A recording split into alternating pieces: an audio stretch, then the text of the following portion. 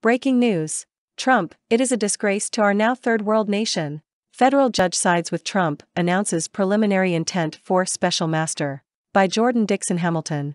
A federal judge has sided with former President Donald Trump and announced her preliminary intent to appoint a special master to review the documents seized by the FBI from Mar-a-Lago earlier this month.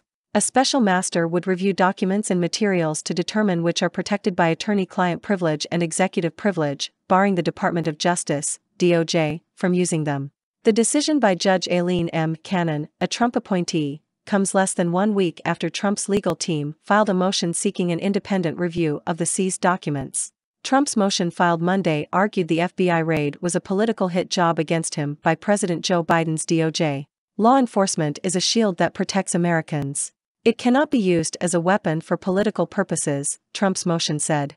Therefore, we seek judicial assistance in the aftermath of an unprecedented and unnecessary raid on President Trump's home at Mar-a-Lago, in Palm Beach, Florida. As Breitbart News reported, Trump's motion for judicial oversight and additional relief requests the court appoint a special master, prohibit the FBI from further review of the seized documents until the special master is appointed, order the government to release a more detailed property receipt, and return any item seized that was not within the search warrant scope.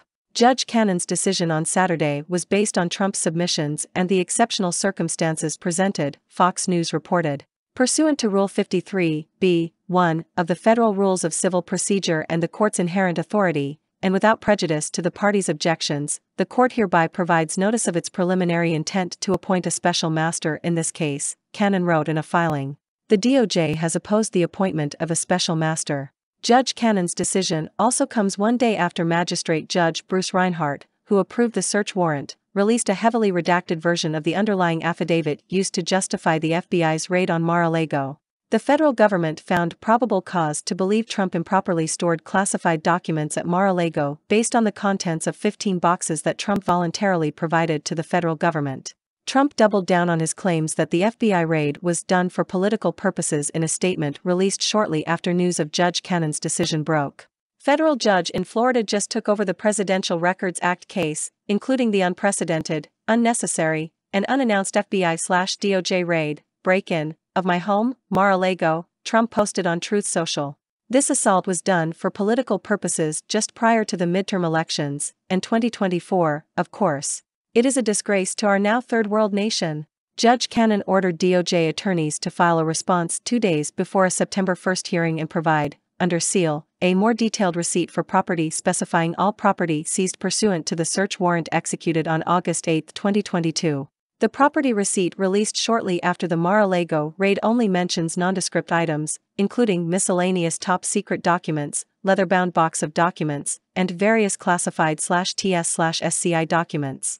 Judge Cannon also ordered DOJ attorneys to file under seal a particularized notice indicating the status of its review of the seized property, including any filter review conducted by the Privilege Review Team and any dissemination of materials beyond the Privilege Review Team, Fox News reported. Judge Cannon further requested the DOJ to provide its respective and particularized positions on the duties and responsibilities of a prospective special master, along with any other considerations pertinent to the appointment of a special master in this case. A senior law enforcement official told Fox News that the DOJ's filter team has been going through the seized documents so far to ensure the records did not include any documents protected by the attorney-client privilege. Five of the boxes taken by the FBI during the Mar-a-Lago raid reportedly included information that Trump's team claims are protected by attorney-client privilege, Fox News reported. Oh great! It has just been learned that the FBI, in its now famous raid of Mar-a-Lago, took boxes of privileged attorney-client material, and also executive privileged material, which they knowingly should not have taken, Trump posted on Truth Social. By copy of this truth, I respectfully request that these documents be immediately returned to the location from which they were taken. Thank you. Jordan Dixon Hamilton is a reporter for Breitbart News.